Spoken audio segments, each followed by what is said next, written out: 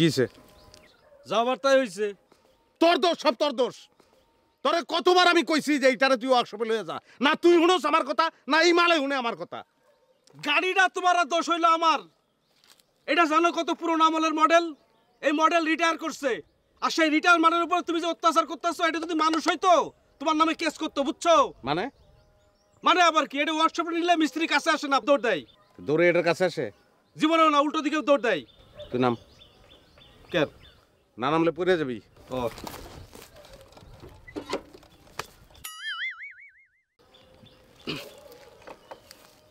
বুঝাই গেলি তাই মারোকে গায়ে হাত দিলোকে যে রোগের যে ওষুধ।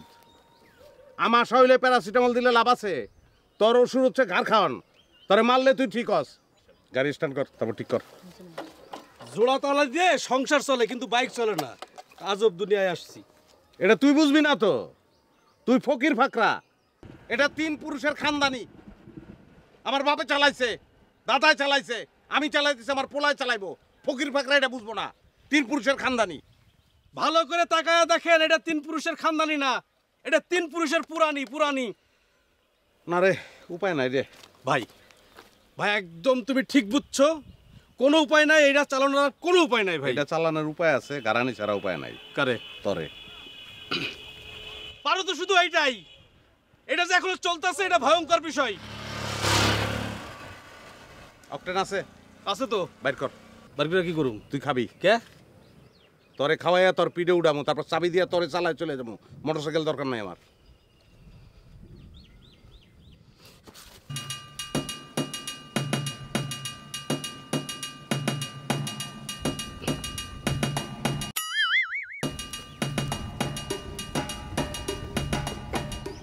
আনন্দের সঙ্গে ঠিক কর। আনন্দের সঙ্গে গান গা গান গাইতে গাইতে ঠিক কর। ওই আমার মন কান্দে গুড। ওই আমার প্রাণ কান্দে গুড। আমার মন কান্দে। গুড।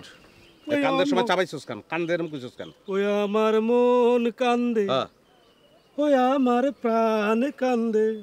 ও। বন্ধুর লাগিয়া আমার প্রাণ কান্দে। লাইন মনে নাই কি লিগা? লাইন কি লিগা কাম করতেছি তো। বন্ধুর বিরহে বন্ধুর লাগিয়া কি? বন্ধুর বিরহে আমার প্রাণ কান্দে রে।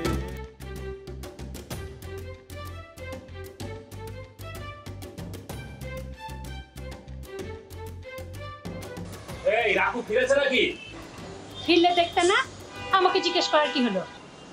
তোমার ছেলে তোমাকে জিজ্ঞেস না করে কি ও উপজেলা চেয়ারম্যানকে জিজ্ঞেস করব নাকি? চেয়ারম্যান সাহেব রাখু কোথায়? ও এখন আমার ছেলে হয়ে গেল তাই না? তোমার ছেলেই তো। আমার ছেলে হলে কি এত অশান্তি করতো নাকি? আরে বেটা তোর বাবা ছিল সরকারি কর্মচারী আর তুই হইলি টোটো কোম্পানির ম্যানেজার। কার স্বভাব পেয়েছে শুনি? তুমিও না এইরকমই ছিলা। ভুলে গেছো? রাত করে বাড়িতে ফিরতা? রাকুর মা আজে বাজে কথা বলবে না কিন্তু। আমি ভালো লোক এই কারণেই তোমার ছেলে এখনও এই বাড়িতে আরাম করে থাকতে পারতেছে বুঝছ? বুঝছি। তা তো বুঝবাই। ভাগ্যিস রিটায়ারমেন্টের টাকা দিয়ে এই বাড়িটা কিনেছিলাম। নয়তো তুমি তোমার ছেলে কোথায় গিয়ে থাকতে? হয় বস্তিতে নয়তো স্টেশনে গিয়ে থাকতে হতো। এটা তো হয়ে গেছে একটা সাইক্লোন শেল্টার যার যখন খুশি আসছে থাকছে খাচ্ছে আহ কি আরাম। আপনার এই ফোক বাকানি জারি দিলে ভালো লাগে না। বের করে দেন না আমার আর ছেলেকে এই বাড়ি থেকে। আজকে যদি আমি আমার তা না পাই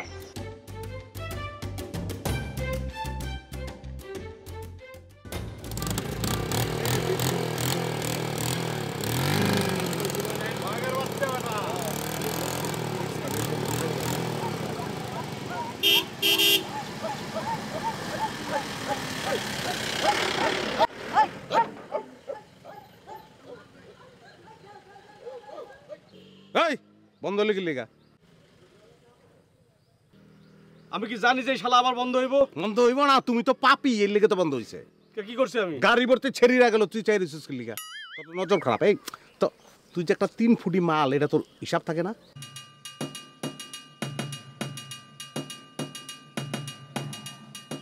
তোর থেকে এক ফুট হইলেও বেশি আছে। স্টার্ট দে। বাইক যদি আজকে স্টার্ট না হয় আমার বাপে আমার স্টার্ট বন্ধ করে দেবো স্টার্ট দে। আজকে সারিয়া জীবনেও বাড়িতে যাওন যাইব না। আর আজব ব্যাপার চাচার ভাত না খাইলেও চলে কিন্তু চা না খাইলে তার চলে না। স্টার্ট দে। দিদাসি। মিজাজটাতে কি ইচ্ছা করতেছে। কত লাগতে সেম লাত্তি তুই খাবি।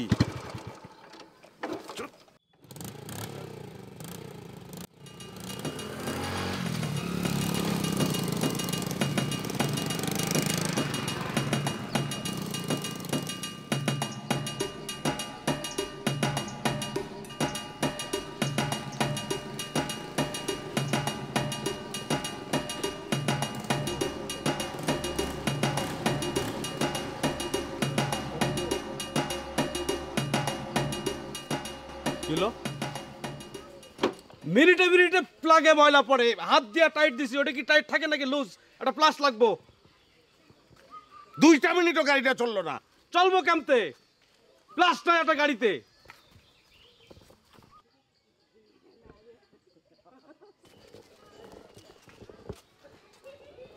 ড্রাইভার তো নাই। আরে এই যে লোক লোকজন ভাই আমরা বিপদে পড়ছি আমাদের মোটরসাইকেলটা নষ্ট হয়ে গেছে একটা প্লাস হইলে খুব ভালো হতো একটা প্লাস দিতে পারেন আপনাদের ড্রাইভার নাই বাস হবে দেন বাসটা দেন ভাই বাস দিয়ে কি করবে বাস দিয়ে কি করব তুই এখন নগদ বুঝবি কুতো দেন কুতো কুতো দেন না কুতো দেন না কুতো দেন না কুতো দেন না কুতো দেন না বাই বাই বাই বাই বাই বাই বাই বাই বাই বাঁচাস। বাই বাই বাই মাথা বাঁচাবি কেন বাই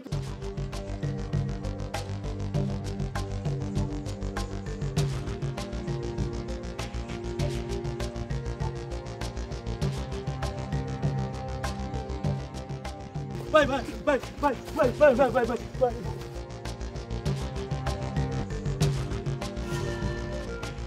বাই বাই বাই বাই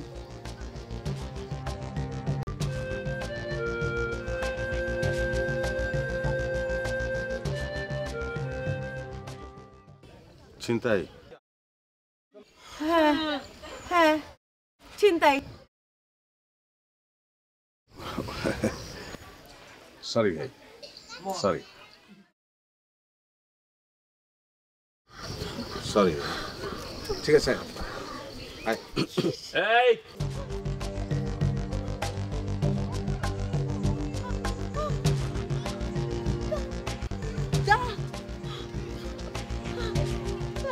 লাইনে দাঁড়াও। এই টাকা দে। দিয়ে দাও। টাকা দে। দিয়ে দাও। আমি টাকা কই পামু? টাকা পাবি তোর কাছে টাকা নাই? আরে দেন সে ভাই। আমার কাছে টাকা কেমনে থাকব? আমি তো আপনার গাড়ির ড্রাইভার আমি কি উপরি কামাই করে নাকি? এই টাকা দিয়ে উপরে কামাই মানে? টাকা নেই? তুই কি ঘুষ খাইতে চাস? হ্যাঁ? তার মানে ঘুষের চাকরি পাইলে তো তুই ঘুষ খাতি। অবশ্যই পাইলে তো ক- করতাম আমি।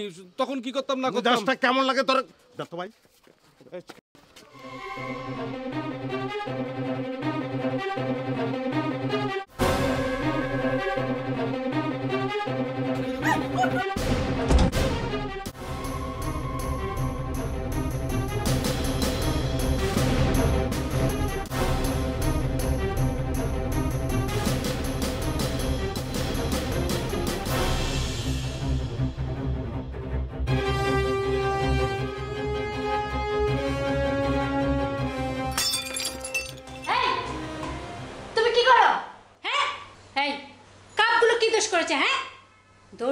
করেই থাকে সেটা আমি করেছি।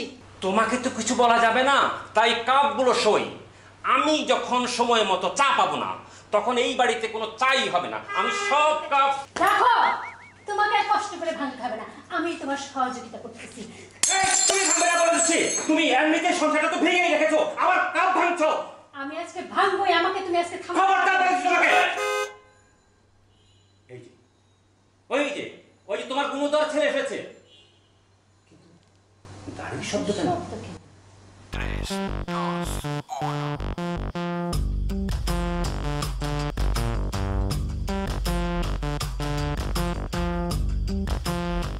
তোমাকে কি জন্য পাঠানো হয়েছিল? চা পাতা আনার জন্য। কই সে পাতা কোথায়?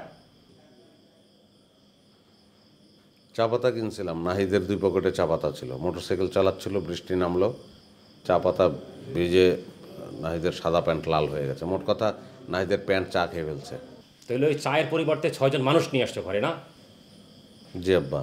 তাহলে তোমার মাকে বলো ওই মানুষগুলো সিদ্ধ করে পানি আমাকে দিক আমি সে মানুষ চা খাই।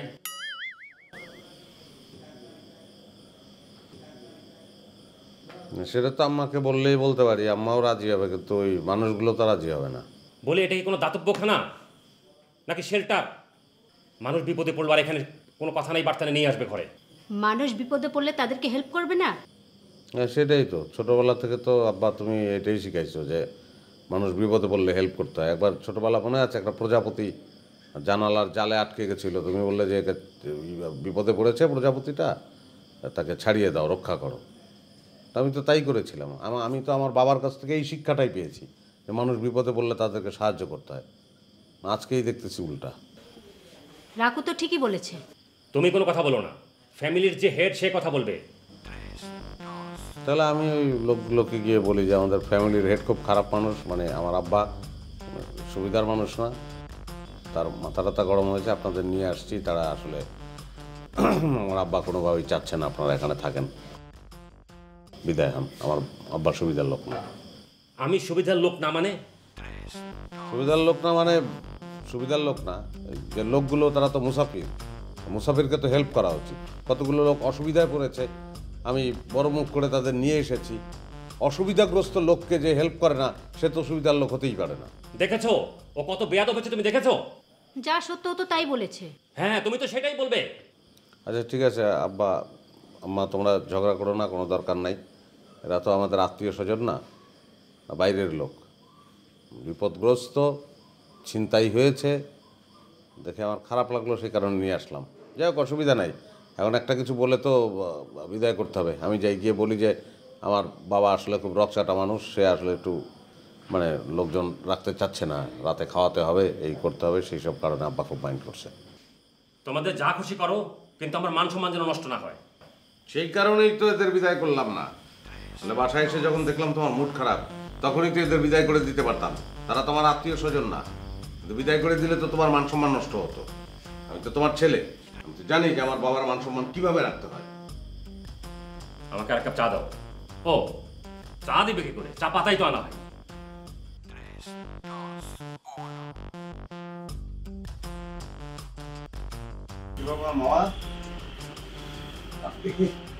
বারান্দায় এক সময় একদম একা দাঁড়িয়ে আছেন? ভালো লাগছে। খুব ভালো লাগছে। আমাদের বাড়িটা না খুবই সুন্দর। ছোট্ট একটা পাহাড় পাহাড়ের মধ্যে বাড়িটা খুব ভালো লেগেছে। আমাদের বাড়িতে যারা আসে সবাই এই কথা বলে এবং এইখানে দাঁড়িয়েই বলে। তাই? আমরা অভ্যস্ত মেহমানদারিতে অভ্যস্ত। ছোটবেলা থেকেই লোকজন আসে আমরা আনন্দ পাই লোকজন আনন্দ পায়। আর আমার বাবাকে তো বাবার সঙ্গে তো কথা হলো কেমন মনে হলো? ভালো মানুষ ভালো লেগেছে। ডিনারের পর তো এক কাপ চা খাইয়ে দিল। এত চমৎকার চা আমি কখনোই খাইনি। লন্ডনে অনেক চা খেয়েছি অনেক রকমের দেশের চা খেয়েছি কিন্তু এটা একেবারেই এক্সেপশনাল কমলার চা। না আমার বাবার এই এক বাতিক। আজকে আপনাকে কমলার চা খাওয়ালো। কালকে সকালে হয়তো কমলার খোসার চা খাওয়াবে তারপরে লেবুর চা খাওয়াবে পুদিনার চা খাওয়াবে আমলকের চা খাওয়াবে। যাওয়ার দিন হয়তো চোত্রা পাতার চা খাইয়ে ছেড়ে দিল চুত্রা পাতা সেটা কি জিনিস? এটা মামা এক ধরনের পাতা মানে গায়ে লাগলে চুলকায়। তাহলে সেটা যদি চা হিসেবে খাই ভেতরে চুলকাবে না? মামা আমি তো রসিকতা করলাম মামা। এনিওয়ে এই তার বাতিক আচ্ছা মামা আপনি বললেন ইংল্যান্ডে সেটেলড আপনি? হ্যাঁ একেবারে ছোটবেলা থেকেই। ও আচ্ছা আচ্ছা। ও আর রাত কিন্তু কম না। ঘরে যাবেন না? ঘর। শোনো মানুষ ম্যাক্সিমাম সময় ঘরের মধ্যেই থাকে।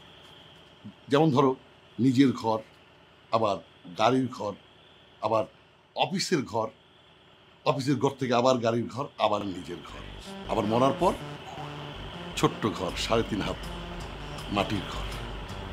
সবসময় ঘরের মধ্যেই তো মানুষ থাকে। এই জন্যে এই বাইরের জগৎটা আমি উপভোগ করতে চাই এবং উপভোগ করার চেষ্টা করি।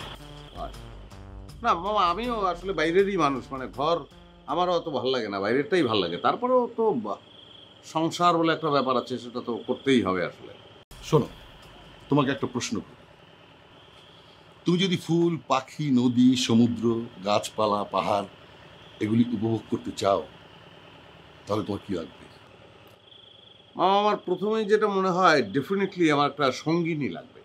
ধরো তুমি তোমার সঙ্গিনীকে নিয়ে চাঁদ দেখতে বসেছো। চাঁদ দেখে তার যতটা আবেগ হবে তার চেয়ে অনেক বেশি বাড়িয়ে দেখাবে। বলবে কি সুন্দর চাঁদ গো। ফ্যাক, ফ্যাক। সুতরাং ফুল চাঁদ নদী সমুদ্র গাছপালা পাহাড় যাই উপভোগ করো না কেন একা করবে। সঙ্গিনী বিষয়টা মাথায় আনবে না। ঠিক বুঝতে পারলাম না তুমি রুমে আসবে না আ- আমি ঘরে যাই। আমি এবার বুঝতে পেরেছি। মানে ঘর বাহিরের ব্যাপারটা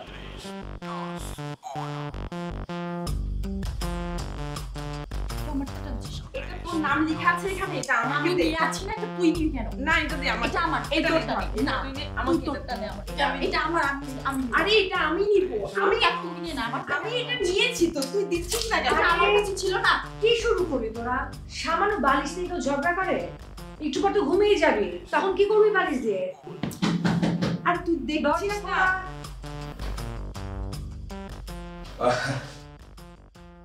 আসলাম ঘুম পাচ্ছিল ভীষণ টায়ার্ড তারপরেও ভাবলাম কালকে আপনারা কোথায় কোথায় যাবেন সেটা প্ল্যানটা ঠিক করা দরকার সব কিছু ডিসিপ্লিন হলেই ভালো হয়।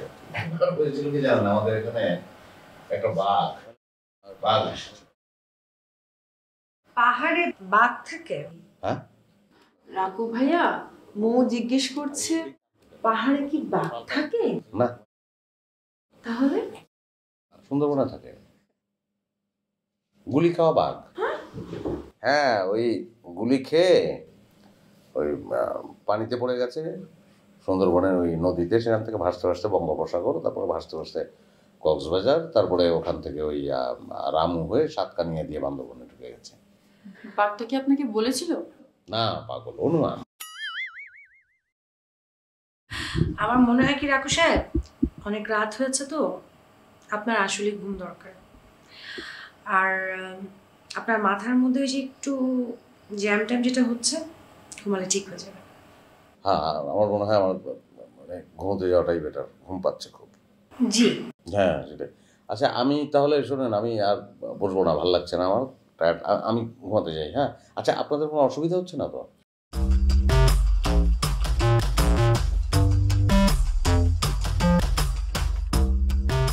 আমি বরং আপনার পেন কিলার আমি আপনার ক্লোফেনাক আমি আপনার নাপা নাপা এক্সট্রা আমি আপনার এইস তবে তার একটা নেশা আছে। কি বলেন কি খায়? তুমি তুমি একটা অনুমতি নেবে না? তুমি বলবে না যে আমি কি একটু সামনে সামনে হাঁটতে পারি?